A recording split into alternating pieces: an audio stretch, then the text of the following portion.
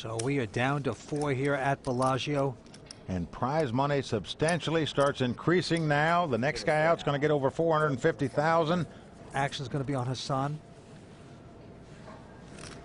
Looks down at a pair of fives. Got the wired pair here. The speed limit. He limps in, as we say. Hasan calls 60,000. Behind him, Martin with an A7. With the button in front of him. He's in position. He's going to call. Just call. Doesn't go up here. Now Richard with a nice hand, the small blind, King Jack of Spade. He's also going to call. What's going on with these guys? Now we're back around to Matt. And Matt with Queen six offsuit.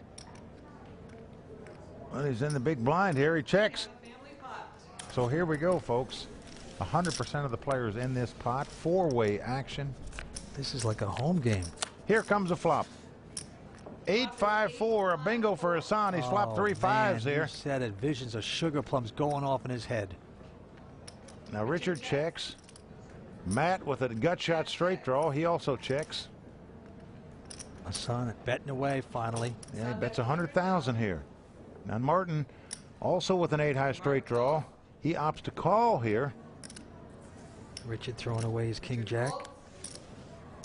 And Matt folds. Two rivals going at it once again. Hasan's got his man where he wants him. He's flopped a set. Here's the turn. Well, a queen comes off. Now, Hasan with three fives here. He's going for his chips. Not going to give his opponent a free chance to beat him here on this gut shot straight draw. Martin lays his hand Oh, down, He's going to take it down. and that's why you limp in with small pairs in hopes to flop a set where they might win a nice pot. Hasan did so there, picks up the pot. My name is Hasan Habib. I live in Los Angeles and I play poker.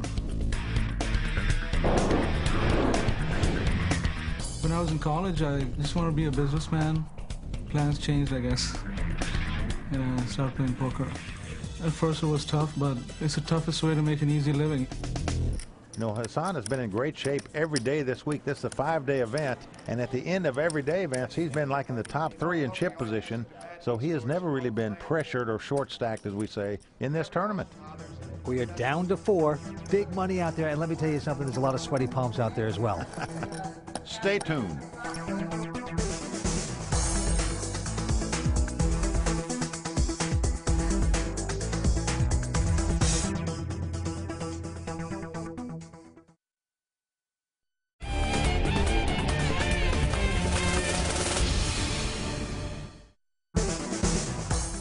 Dreamt that I was 10th or 11th place in a poker tournament, and it wasn't as well as I'm doing now. So when I woke up in the morning, that was a pretty good feeling to know that I was doing better than I could even dream about. Literally. Welcome back to the World Poker Tour Championship at Bellagio. On poker's biggest stage, amateur actor Steve Brecher went all in on the second hand of the game Come on. and was the first to bow out. So that's going to do it for Steve Brecher. Attorney Russell Rosenblum thought he had a case with an ace queen, 600. but got sentenced to fifth place. No, he doesn't do it. Swedish sports bettor Martin de Knijff still maintains the chip lead, but with two rising stars and a poker pro still in the hunt, all think they have what it takes to be crowned the king of poker. Right now, Vince, these four remaining players are going to have a great payday. Just a matter of how much they're going to win. The fourth place finisher gets over 450,000. The third place guy over 700,000. The runner-up gets 1.4 million, and our winner gets over 2.7 million. A lot at stake. Here we go. Our chip leader now, Martin de Knijff, looks at four deuce. Goes out. Here's Richard on the button, up against the blinds, has a nice hand, king queen. Offsuit. 180. He's going to raise it, and make it 180,000. Does what he's supposed to do with that hand. Right into our Yale grad, Matt Matros, who's got a real hand. He's got a wired pair of sixes here. Let's see how he plays them. He's been a little quiet lately. He's finally got a wired pair. He's just going to call. Wants to proceed cautiously here. See a flop first. Hasan with 7-6. Offsuit. Now, does Hasan want to get involved with the 7-6? He lays it down. So we got a pot between the two young guns. Richard Grijalva, the 22-year-old student with the king queen. Matt Matros, the 26-year-old with the two sixes. Here's our flop. Flop is queen, jack, deuce, all spades. And the sixes have dried up there for Matt. Well, he has an underpair, but he also has a flush draw himself, Vince. He checks. Richard's hit his pair of queens, and he's got the king of spade. Nice place to be. 200. And here comes Richard. He's going to bet this hand. He bets 200,000. Not going to play it slow. Richard bets 200,000. And now Matt faced with a decision here. He has a pair. He has a flush draw. These are the kind of hands that can get players in trouble if they're not careful. Well, you can't think he'd really consider this, and he doesn't. Well, he lays it down. He could have considered it, but he wisely did not.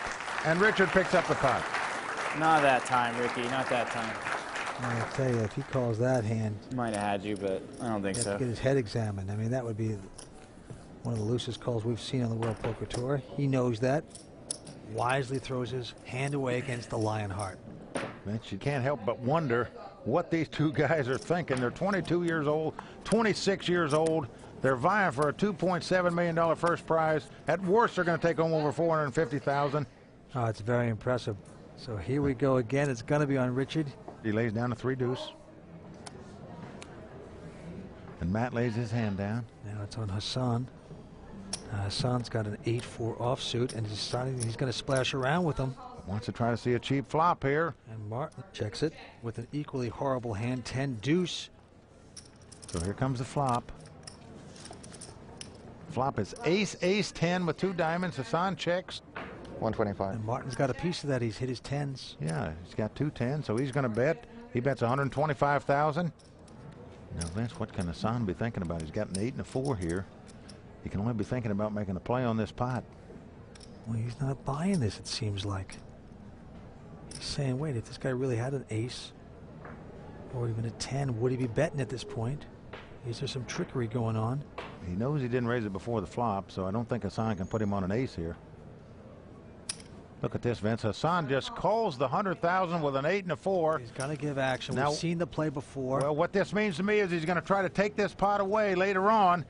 and the three comes up. Hasan's going to look back at his hand here.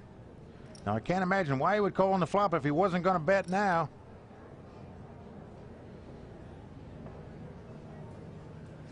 But he doesn't do it. He checks. 225. This is peculiar. And Martin quickly leads out and bets 225,000 and Hasan folds his hand. A very strange play by Hasan right there. Oh, you're right. I think he gave up on his strategy right in the middle there. Vince, let's go back and take a look at that last hand. 125. He called on the flop with the original intent, I'm sure, of betting out on 4th or 5th Street there. But he changed his mind, Vince. He decided, well, maybe Martin had a hand. He didn't want to fool with the chip leader. He ended up checking on 4th Street 225. and then jettisoned his hand. He just had bad vibes all of a sudden. Well, he's got one tough customer on his left, Martin de Knijff. The knife just cutting up his opponents here. Got to be wary. Right now it's on our Yale grad. Matt Matros, he's going out. Here's Hasan Habib on the button with Queen Jack of Clubs, a pretty good hand against the blinds, but he opts to just call here with it. With the button in front of him, that means he's in the best position in Hold'em poker. And look at this. Martin has picked up Ace King Oh, he's got big slick. in the small blind. Now he's going to torture his rival once again here. He's reaching for some chips, some raisin chips, I'll make it 350. And a healthy raise, Vance, up to 350,000. Oh, he's going to put him through the pain factory. Richard going out with 8-4. And look at Hasan quickly jettison his hand. Doesn't even consider calling with the Queen Jack of Clubs. Now he's saying, leave me alone. I've been cut up enough tonight by the knife. Let me breathe a little bit. Well, Vince, it was a tough tournament for everyone trying to get here tonight.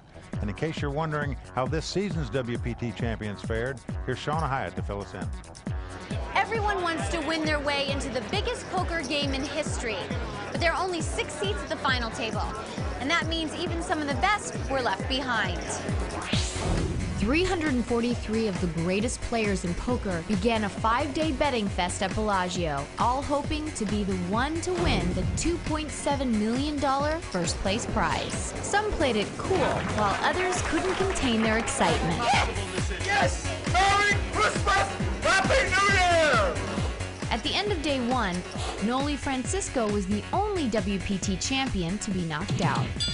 But after day two, 161 more players hit the canvas, including WPT Player of the Year Erick Lindgren, Bill Locke, Foxwoods champ Cowboy Corkins, and Paul Phillips. On day three, three time winner Gus Hansen KO'd with his ace king. Then it was Mel Judah, Bill Gordon, Antonio Esfandiari, and Barry Greenstein. Reno winner Michael Kinney was the only WPT champion to make it to day four, but ended up settling for an 11th place finish. So for the heavyweights that made the final table, they battled with the best and won, giving them bragging rights for a lifetime and the chance to win millions.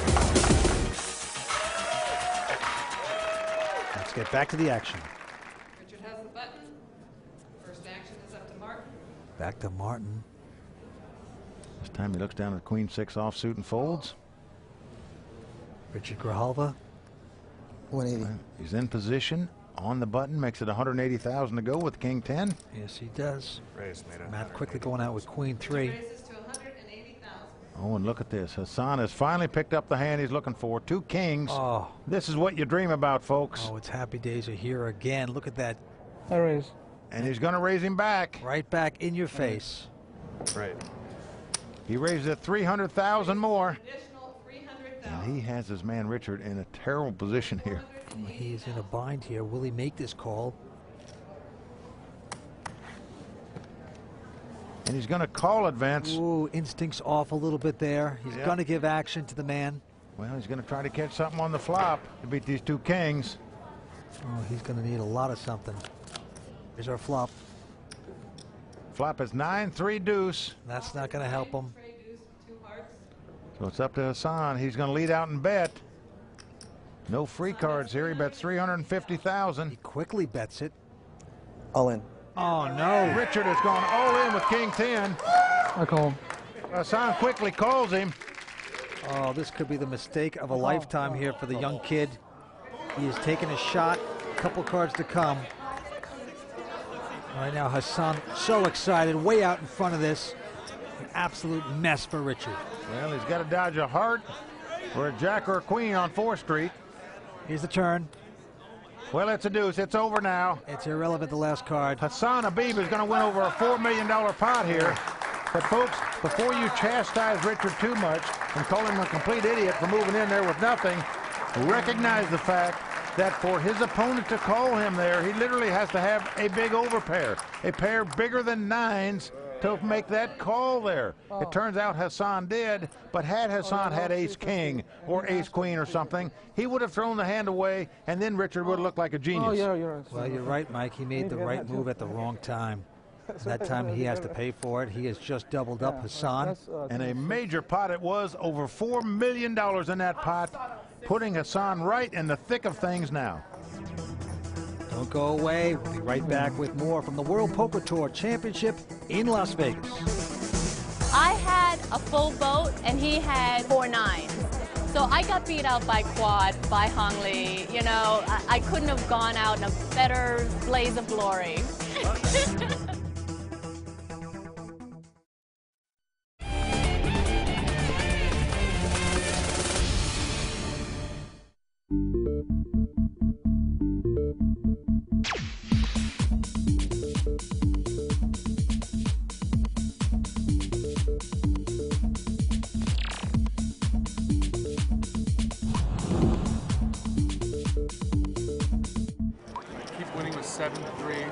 I'll be in good shape.